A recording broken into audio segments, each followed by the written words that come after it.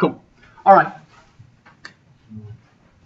So we're now, at the, uh, I suppose, at a really important juncture.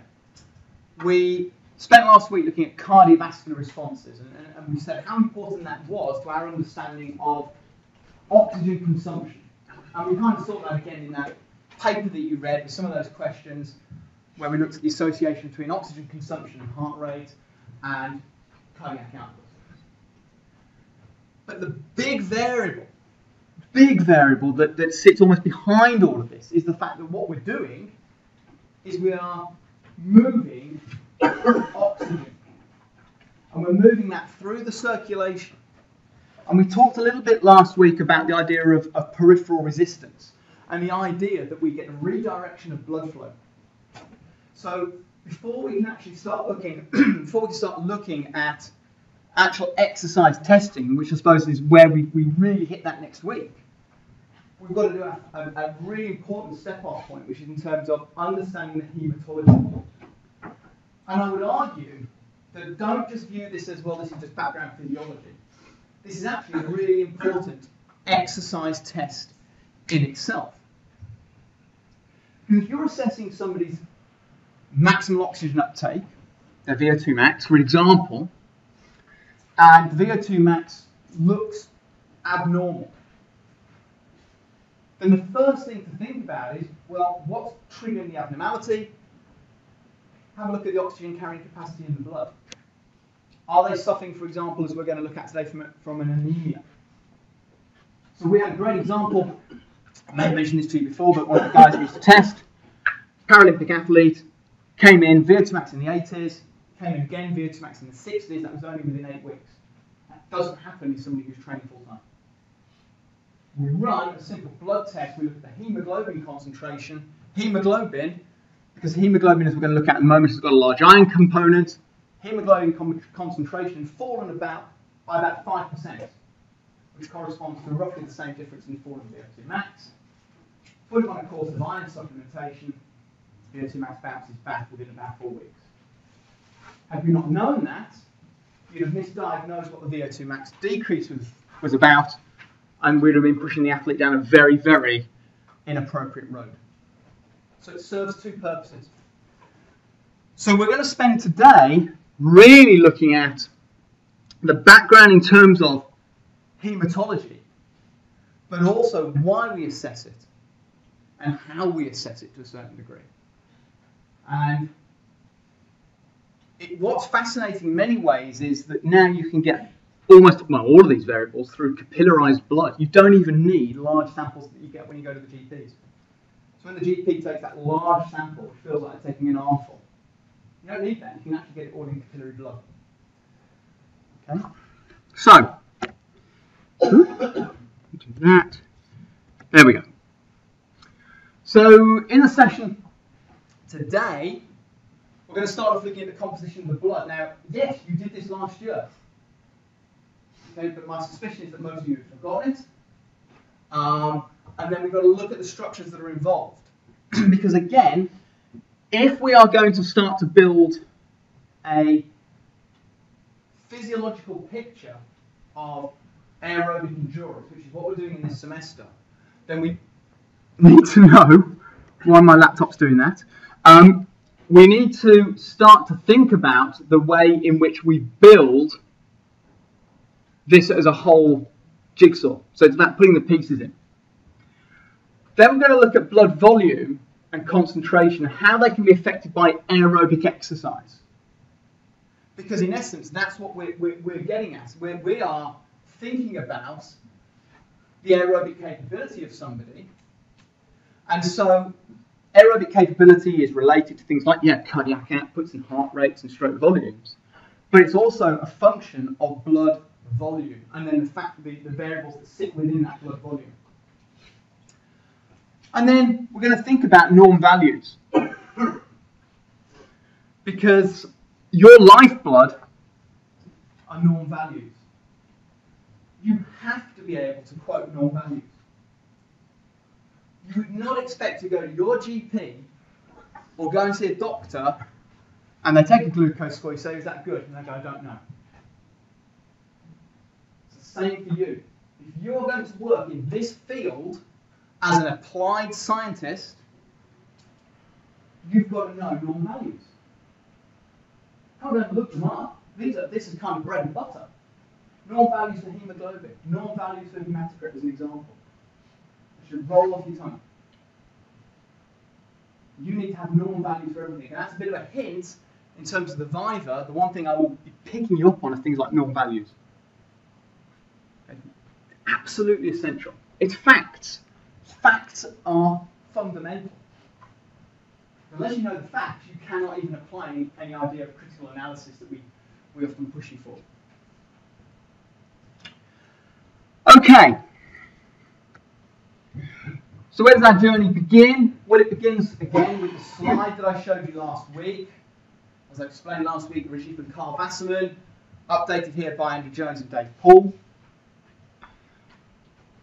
We're interested in the oxygen consumption as measured, measured at the mouth. What we're saying is what goes on at the mouth reflects what is going on at the muscle.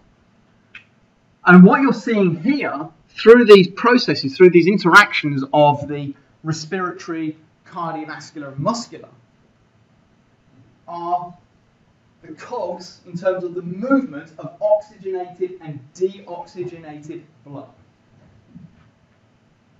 And we're moving that blood on a supply and demand process. If the demand goes up at the muscle for oxygen, because let's say we engage exercise, we put the uh, participant under stress, because that's what we do when we apply an exercise condition, we get a change in peripheral resistance, we get a redirection of blood flow, but we are moving the oxygenated blood to the site where it's required, because we need to oxygenate the muscle because it's changing length. And we then got to remove the deoxygenated blood because we need to take the carbon dioxide primarily away from the cell. And we'll come back to the carbon dioxide later in this semester. It has a significant role in some of the exercise tests that we can, that we can perform. So the idea of not covering hematology would be very much like having that jigsaw piece missing. Because it is absolutely fundamental to what we do. So when you think about exercising today, and you've got your participant on the bike, and you see the heart rate going up, you see the oxygen consumption going up, heart rate and oxygen consumption are a reflection of what is going on at the muscle. But all they are doing is really allowing us to shift more O2 saturated blood to the cell that's being engaged. That's all it is. That's all we're looking at.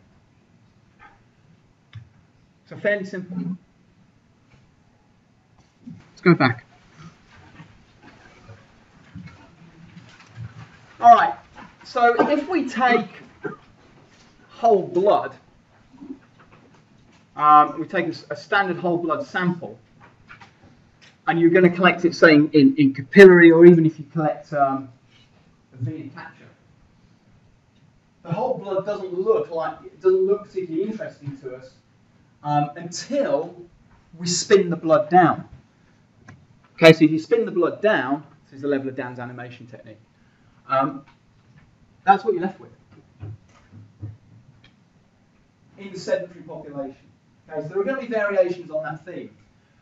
So we've got plasma, which is, as you can see, about 55% of whole blood, and I don't like why it's doing this, it's getting very annoying. Platelets, and then we've got the erythrocytes. So, erythrocytes are red blood cells.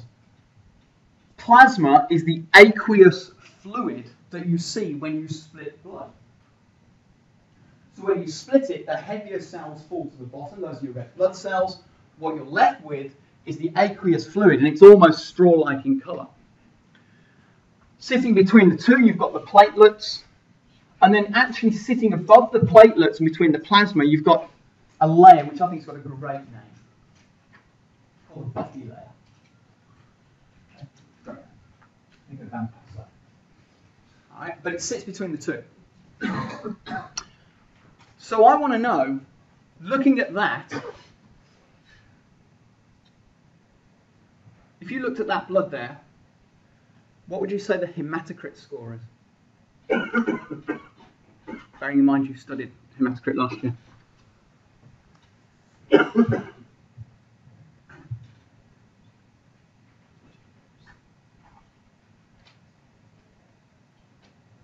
Somebody be brave.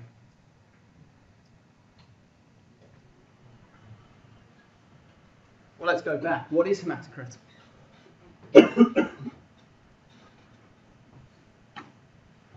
How much is something in the blood? How much of Uh, the components in the blood. which components? All three of the components. No, not all three. not the plasma. Red blood cells. Hematocrit is the amount of red blood cells within the whole blood. So what's the hematocrit score? 45%. And so we've automatically got an index when we spin it down of, of the ratio of whole blood to plasma. We know that we have different scores for males and females in terms of, of plasma. Not plasma, sorry. In terms of hematocrit. So for females, we have a hematocrit score of about 38 to 42% in um, the general population, about 38 to 42. For the male, it's about 42 to 46%. 38, 42, female, 42, 46 for male.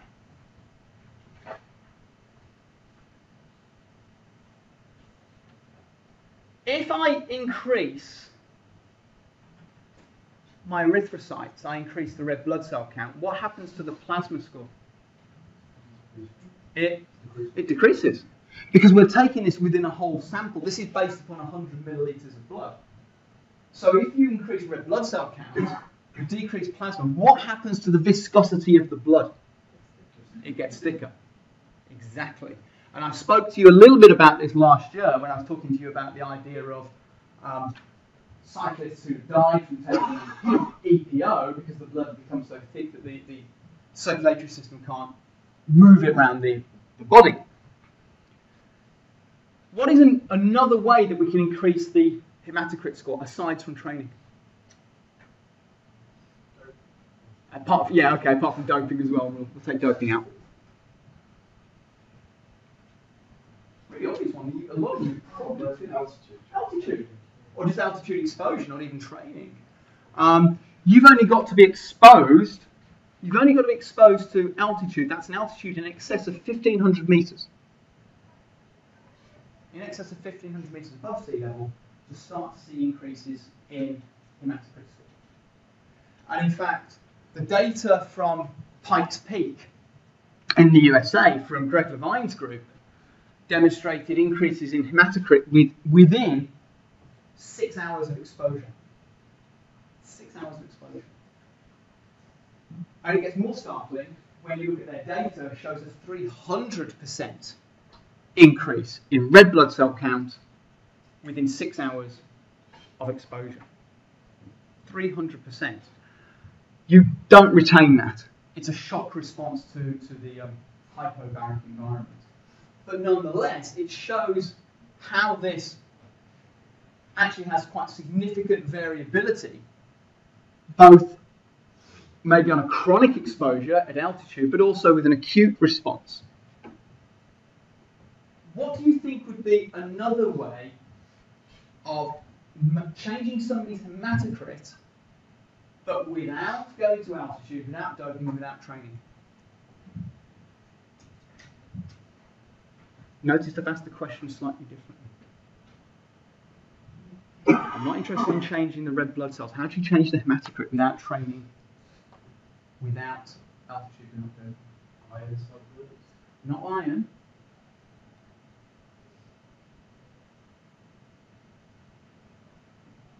Chronic dehydration if you chronically dehydrate somebody, this doesn't change in terms of the numbers. This decreases, so the ratio of the erythrocytes to the plasma goes up, the blood becomes more viscous.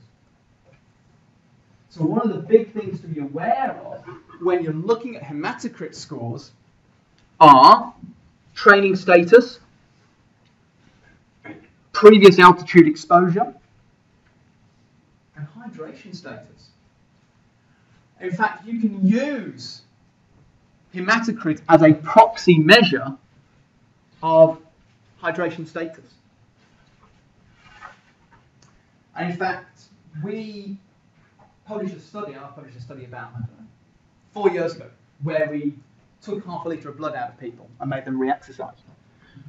And we got into an argument in the literature, it's great, I love getting into arguments in the literature, with um, Mark Burnley's group, who, who was down at Aberystwyth at the time, because they'd done something similar, but they showed um, a very, very different result. Why? They haven't controlled for hydration status. If you take half a litre of blood out of somebody, I've taken out a load of fluid content. So unless I allow you to rehydrate, I'm already making your blood more viscous. So it's incredibly important that when we're thinking about hematocrit scores, don't just think about this component here, which is just the red blood cell count. Think very much about what's, what's affecting the, the plasma concentration. So when we are collecting blood, whole blood, we are interested in erythrocytes, we are interested in plasma, but we're also interested in the, the factors that contribute to the erythrocyte count and the erythrocyte function. So we're interested in things like the hemoglobin concentration, the hemoglobin sitting on the red blood cell. Okay.